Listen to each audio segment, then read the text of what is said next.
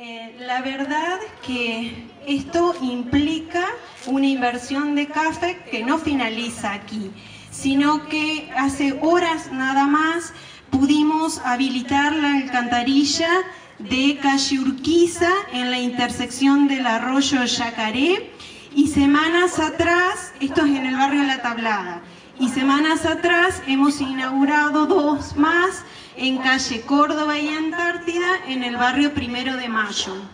Esa obra tiene un presupuesto de casi un millón de pesos, 997 mil pesos. Y la verdad que, bueno, estamos muy contentos de hoy poder llegar al final de estas dos obras que sabemos de la importancia que tienen para los dos barrios. Que nos permiten licitar, que nos permiten adjudicar y luego inaugurar las obras como se ha hecho siempre. Seguramente Cecilia, señor ministro, María Angélica, bueno, el Consejo Deliberante para nosotros es importante porque también nos dan las herramientas para esto. Muchos proyectos más vendrán, eh, no solo con lo que decía Cecilia, nosotros queremos mucho más para la ciudad de Chacarí, por eso seguimos presentando carpetas, seguimos gestionando la nación en la provincia.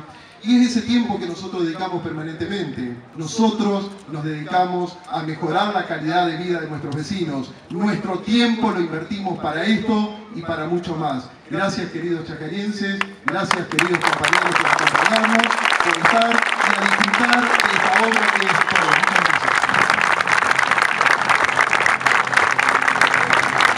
A continuación,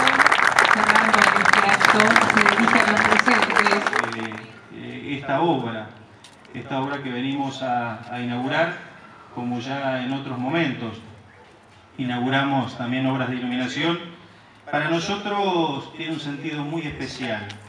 Eh, por un lado, técnicamente la iluminación y por otro lado lo que significa la conectividad. Y quiero contarle a, los vecinos, a los queridos vecinos, eh, más que contarle, recordarle. Cuando nosotros asumimos en el 2003, Oscar Arnau era secretario de gobierno, creo que anda por ahí. Eh, José Luis Panoso era secretario de Planificación Estratégica. Y uno de los primeros desafíos que hubo en relación al tema seguridad, al tema de mejorar la calidad de vida, era como rápidamente disparábamos un programa para recuperar lo que en ese momento era el hecho de que solo Chajarí estuviera iluminada en un 20-25%. Chajarí estaba oscura. Y esto es importante recordar. Esto no es decir algo en contra de alguien, sino eh, saber o recordar, saber para los más jóvenes, cómo nosotros recibimos al municipio en aquella oportunidad. Eh, José Luis trabajó rápidamente en el esquema de planificación Insisto, solamente el 25% de la ciudad estaba iluminada, las plazas oscuras, los parques oscuras, los barrios oscuras. De esto seguramente muchos vecinos se acuerdan. Pero muy lejos de protestar, decía, José desde planificación se puso a trabajar y Oscar en un tema no menor se puso a ver de dónde conseguíamos los recursos. Y por eso este tipo de obra para nosotros es muy significativa porque nos trae aquel recuerdo, aquellos primeros pasos donde seguramente las discusiones eran otras. Hoy José hablaba del FEI, hoy yo hacía mención. Bueno, muchos les gusta ver el vaso medio vacío, desde ahí se posicionan y desde ahí critican. Pero nosotros, los peronistas, que son trabajo, de ejecución de sueños, de cómo frente a la crítica y lo que aparece como debilidad, nos ponemos a trabajar mucho más para ver cómo mejoramos eso hace de estas obras las obras realmente simbólicas, las obras transformadoras. Y hablaba de este lugar en particular como un ámbito de conectividad. Y lo decía por dos temas que uno de ellos lo comenté hoy, me olvidé en la agrotécnica de comentarla en el texto oficial, lo recordé después. Acá muy pocas cuadras, si Dios quiere muy pocas cuadras, va a estar emplazada, esperemos que no mucho tiempo más, para eso vamos a trabajar, lo que va a ser la nueva terminal de la ciudad de Chajarí, que va a ser, si Dios quiere, una de las terminales más hermosas de las provincias de Entre Ríos. Y es el viernes de la semana que viene, si Dios quiere, vamos a ver si llegamos, para que en la ciudad de Chajarí, en el centro cultural, podamos exponer todos los trabajos y ahí, frente a los vecinos que nos acompañen, poder decir cuál es el proyecto ganador. Lo decía hoy, se presentaron de la provincia de Entre Ríos 15 proyectos, 4 de Chacarí, algunos de ellos nos acompañaban hoy en la recorrida, 6 de la ciudad de Concordia, 1 de Colón, 1 de Concepción del Uruguay, uno de Gualeguaychú, uno de Victoria y uno de Paraná. La verdad que para nosotros realmente es satisfactorio la, convocatoria que ha tenido el colegio, este, el colegio de arquitectos de la provincia de Entre Ríos y por supuesto que nos motiva especialmente a seguir en este camino en el trabajo en conjunto. Decía, acá muy pocas cuadras va a estar eh, esa nueva terminal, emplazada esa nueva terminal, que no tengo ningún lugar a duda va a ser un mojón muy especial y la interacción con estos barrios también va a ser muy especial. Y acá va donde casi termina la, la avenida Siguru, donde están, como decimos siempre, los viejos galpones del ferrocarril, ahí también vamos a hacer una intervención muy fuerte, lo hemos charlado mucho con, con José Luis, y en ese lugar va a haber también un desarrollo importante que va a venir a conjugar de manera especial la conectividad que representa esta avenida y de alguna manera la, acción muy, muy diferente a la de hoy que van a tener estos, estos barrios. Decirle a los vecinos que bueno, por supuesto que me encanta encontrarme este, cuando puedo con, con, todos ustedes, en particular con este tipo de obra, a los amigos de los clubes, del Club Ferro, eh, del Club Primero de Mayo, eh, decirle a todos que vamos a estar permanentemente eh, accionando y traccionando para que todo lo que es la agenda de gestión del intendente pueda llevarse adelante.